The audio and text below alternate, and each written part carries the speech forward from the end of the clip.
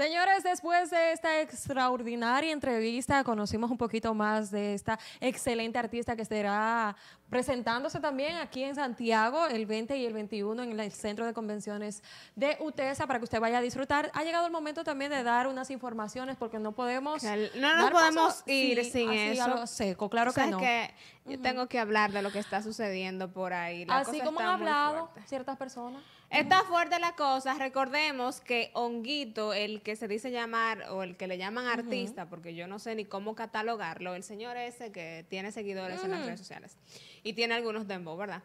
El señor eh, está involucrado en un tremendo lío porque eh, tuvo un accidente donde falleció una persona. Recordemos eso. Más adelante se dio a conocer, según él, que él no estaba conduciendo, que era otra persona, todos se preguntaban quién era el que estaba conduciendo. Más adelante salió la exnovia Briante a hablar y dijo que sí, que era Honguito el que estaba conduciendo, que ella iba eh, de co-conductora y que todo pasó muy rápido.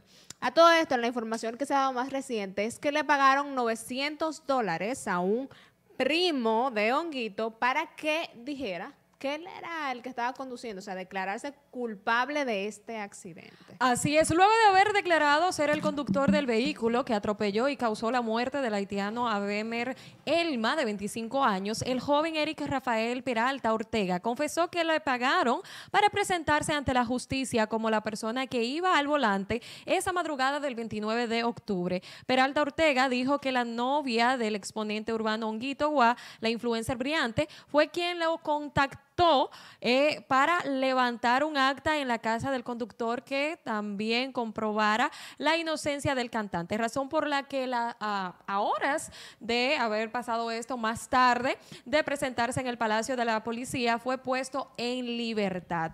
Se estaba rumorando en el barrio, dice que me iban a dar 20 mil pesos, pero finalmente Briante le envió 900 dólares, aproximadamente 48 mil pesos dominicanos, según explica explicó también Peralta Ortega durante una entrevista a Los Foques Radio Show. Bueno, el problema está difícil para Honguito. Esperemos que la justicia haga su trabajo porque el simple hecho de estar hablando mentiras lo puede involucrar más.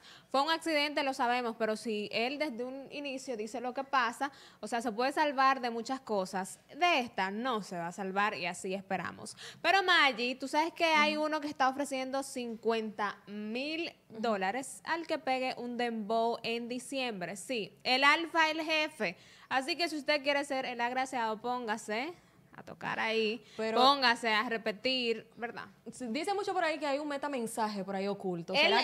No, él quiso, para mí, él quiso decir que él va a pegar un dembow, que nadie más va a pegar un dembow, que el que lo pegue le va a pagar estos 50 mil. Entonces, está el sorteo vamos a crear Yo creo que se lo van a ganar bien fácil, porque aquí en República Dominicana están trabajando como se debe. Y los artistas. bueno, bueno, bueno, pero el exponente de música urbana, el Alfa, anunció este lunes su nuevo álbum musical que contiene 18 canciones y que describió como el proyecto más grande de toda la historia del Dembow. Sagitario es el nombre de este nuevo álbum del intérprete que saldrá en el mes de diciembre y con el cual promete eh, también inundar el diciembre de este dembow, de esta música y a lo cual también aprovechó para ofrecer esta cantidad de dinero para ver si otro exponente logra pegar aparte de él, ¿verdad? Podemos montarnos en esa ola si tú quieres y ya que tú eras rapera en el pasado, Vamos a ver. ¿Por qué, es que, ¿Por qué es que a ella le gusta dar esos sí, hacemos la transición. Esos datos no lo sabe nadie. Y creamos un dembow. Nos ganamos esos 50 mil dólares. Dios mío. Vamos a ver quién será el afortunado si pegan un dembow. Yo sé que no se va a pegar uno. Se van a pegar muchos dembow en diciembre. Así que el alfa va a tener que hacer como la loto, dividir esos chelitos. Así está la cosa. Pero ha llegado momento de yo darles una súper recomendación. Y es que si usted quiere lucir hermosa, vestir bien, robarse todas las miradas, ser la sensación del bloque, tiene que visitar a tienda Tiendas Divas RD. Estamos ubicados en Plaza Colinas Mall, módulo 206, segundo nivel en esta ciudad de Santiago. Divas, acostúmbrate a que te miren. Allá podrá encontrar vestuario como el que tengo colocado el día de hoy, al igual de los que me he puesto también para el programa. Recordar que si usted quiere estar en el último grito de la moda, solamente tiene que dirigirse a Tiendas Divas. También nos puede seguir a través de nuestra cuenta de Instagram como arroba tiendas divas RD.